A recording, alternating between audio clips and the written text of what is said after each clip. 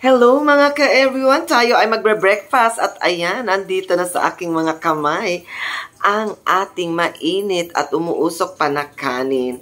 At alam nyo ba guys, kung ano ang uulamin ko ngayong araw na ito, itong morning na ito?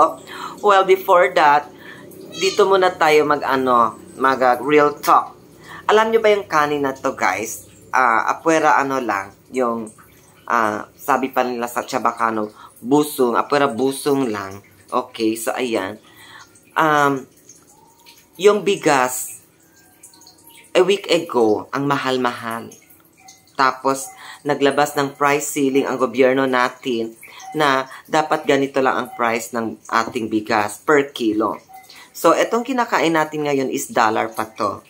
Okay? Bakit dollar? Kasi 50 plus na ang per kilo. Pero, ayan, Ganon pa man, kailangan natin ano, kumain. Kasi tayong mga Pinoy is, ang uh, pangunahing pagkain natin ay kanin. So kaya, wala tayong magawa. Otherwise, bumili na lang tayo kahit mahal. Okay, so ayan, balik tayo sa ating eksena. Alam nyo ba guys kung ano ang ulam ko ngayon? Well, I guess na hindi nyo siya ma... Anong tawag dyan?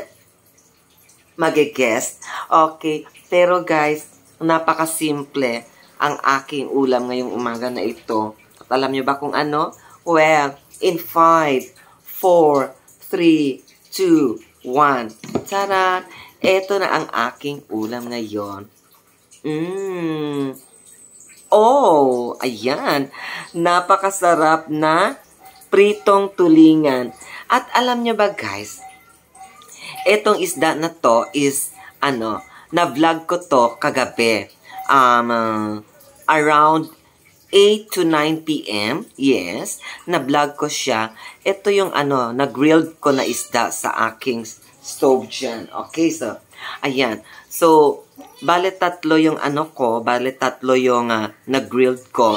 Pero hindi natin naubos at ayan may tira pa. So, ang ginawa natin is, prinito natin to siya.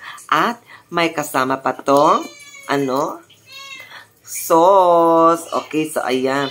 Ang sauce natin ay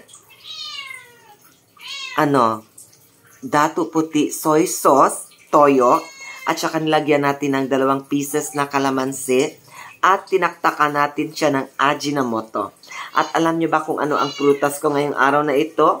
Well, wait lang. Kukunin ko lang para sa inyo. Ayan. Bilangan nyo ako in 5, 4, 3, 2, 1. Ayan. So, bubuksan ko na sa inyo kung ano ito, ha? Wait lang.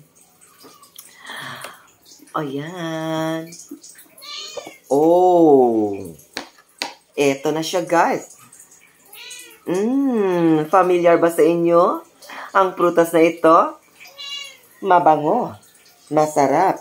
Malinamnam. Pero sa iba, nababahuan sila. Pero, alam niyo ba guys, ang lasa nito? Super sarap ang lasa.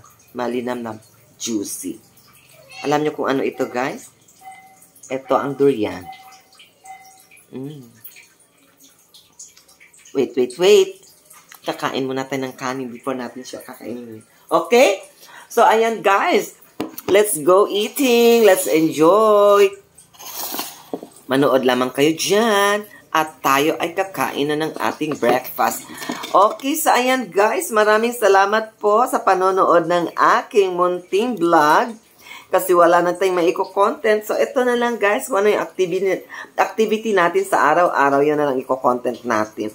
Okay, so for that guys, maraming salamat po sa panonood ng aking vlog.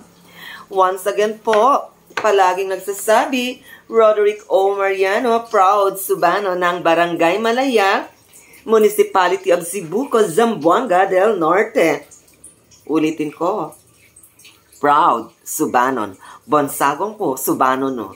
Thank you so much. Ayan, maganda, masagana, masarap, maligaya ang ating buhay pag meron tayong hanap buhay.